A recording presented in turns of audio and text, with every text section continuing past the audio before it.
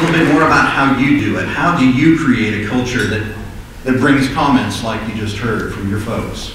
I think a lot of it is just being really aware of staff needs, both at work and at home. And I will tell you, it, it, it really helps to have a good culture when you honestly have such a great group. I mean, those comments right there, our staff, if there's someone in need, they are the first one to be doing emails, going out. It truly is a family feel, and I'm blown away by our staff on a daily basis on the culture that they provide to their coworkers and to us too. It really is our staff that makes it easy to do.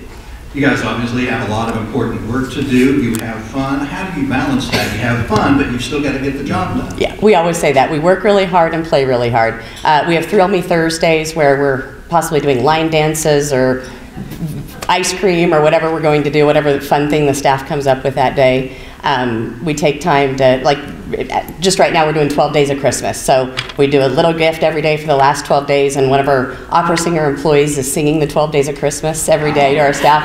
10 minutes out of the day, we work hard the rest of the day, but we get, we get a chance to have a lot of fun. So That's great. Well, obviously, what you are doing is clearly working. So congratulations Thank to you. Brooke Armstrong and Brenda Barton, everyone at Optometric Billing Solutions.